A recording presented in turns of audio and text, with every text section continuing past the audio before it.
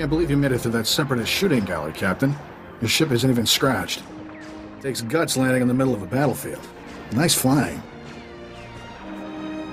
Somebody want to explain what's going on?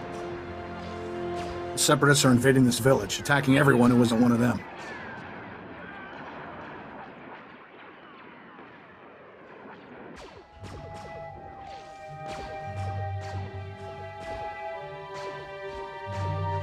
My name's Skavak.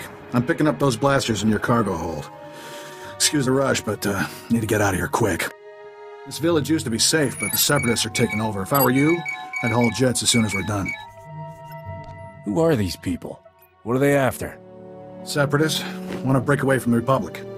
From all the explosions, they're serious about the idea. Sounds like the bombing's getting closer. The Separatists will be right on top of us any minute. Here's your payment for making this run, Captain. As soon as I have those blasters, you'll be free to fly.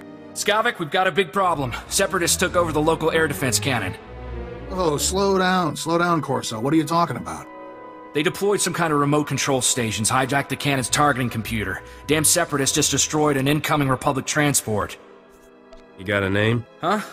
Oh, Corso Riggs. I'm with Skavak. Nice to meet you.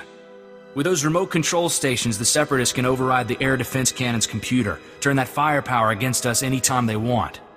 That's bad news, Captain. The Separatists will blast you out of the sky even if you think about taking off.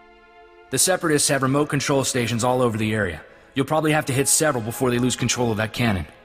Pardon me, but my trigger finger needs a little exercise. Good luck. Hope we see you again. Let's move, Corso. We're running out of time.